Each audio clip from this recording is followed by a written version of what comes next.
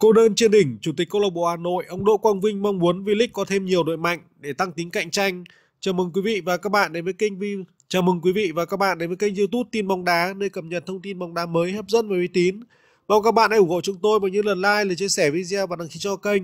Kết thúc mùa giải 2022, câu lạc bộ Hà Nội đã thâu tóm cả hai danh hiệu quốc nội của bóng đá Việt Nam là V-League và Cúp Quốc gia.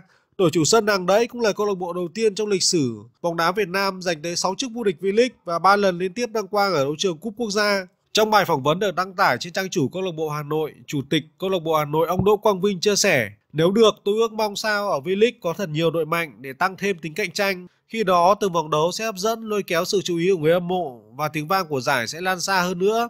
Lên ngôi tại V-League 2022, câu lạc bộ Hà Nội sẽ là đại diện của bóng đá Việt Nam tham dự tại AFC Champions League 2023. Cùng với mục tiêu bảo vệ chức vô địch V-League lẫn cúp quốc gia, Chủ tịch Đỗ Quang Vinh cũng có những chia sẻ đáng chú ý về tình hình chuẩn bị lực lượng của đội bóng thủ đô.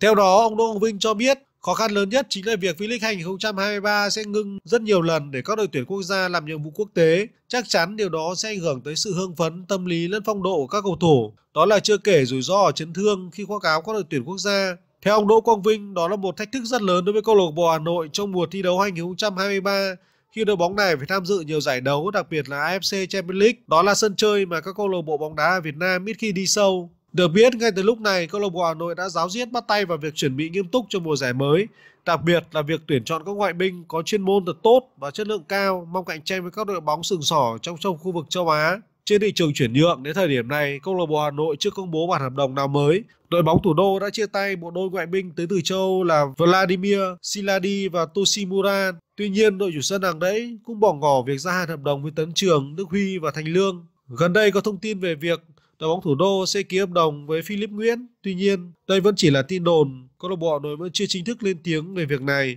Bởi Philip Nguyễn vẫn đang bởi Philip Nguyễn vẫn đang có hợp đồng với đội bóng đang thi đấu ở giải vô địch quốc gia Séc.